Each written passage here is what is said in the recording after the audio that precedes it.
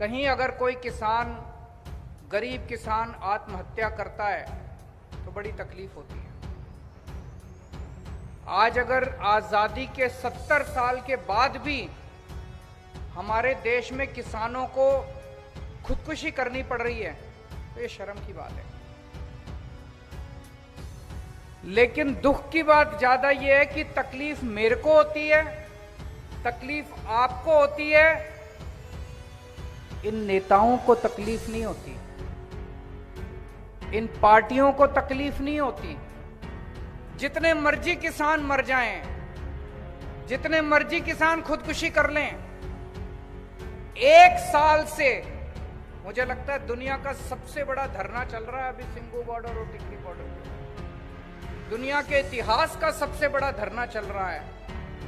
एक साल से 11 महीने से ऊपर हो गए 11 महीने से ऊपर वहाँ पे बैठे हैं।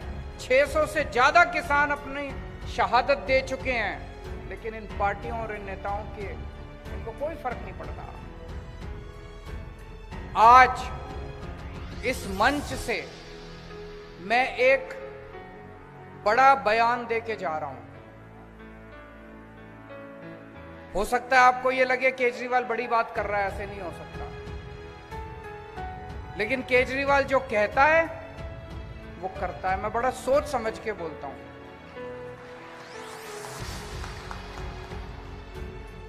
मैं पूरी ज़िम्मेदारी के साथ आम आदमी पार्टी की तरफ़ से आपको यह विश्वास दिलाता हूँ।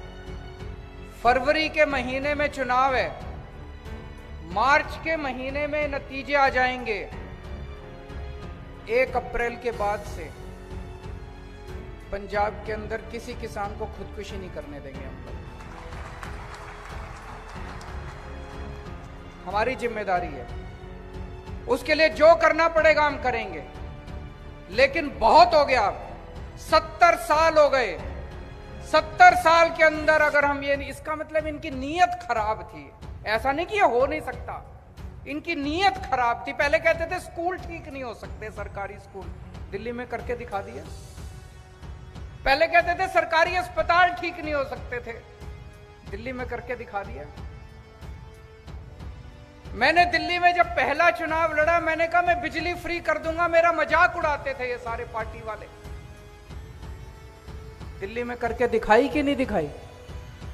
आज मैं आपको वादा करके जा रहा हूँ, एक अप्रैल के बाद से पंजाब के अंदर कोई किसान खुदकुशी नहीं करेगा। किसी किसान को हम खुदकुशी खुदकुशी नहीं करने तो आज दो चीज़ें ऐलान कर रहा हूँ। एक तो ये, एक अप्रैल के बाद से पंजाब के अंदर किसी किसान को आत्महत्या नहीं करने देंगे। और दूसरा, जितना आपकी लागत आती है, अगर कभी भी भविष्य के अंदर फ़सल बर्बाद होती है, आम आदमी पार्टी की सरकार बनने के बाद अगर कभी भी फ़सल बर्बाद होती है जो लागत है, उस लागत के हिसाब से आपको उचित मुआवजा दिया जाएगा।